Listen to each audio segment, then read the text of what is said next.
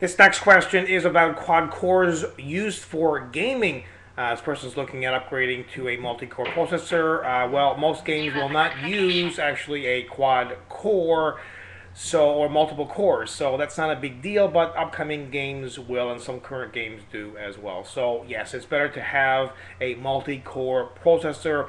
You know, it just keeps everything more stable, even if the game doesn't support uh, multi-cores uh, on the CPU.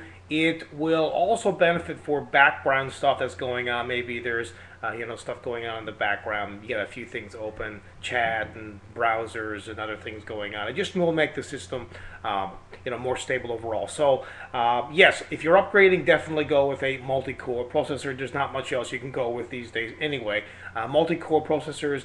Um, are really the way to go. So uh, I would go ahead and uh, upgrade to a multi-core CPU. Um, maybe it won't affect your gaming frames per second, but it will overall give you a better system uh, stability and support some of the upcoming games.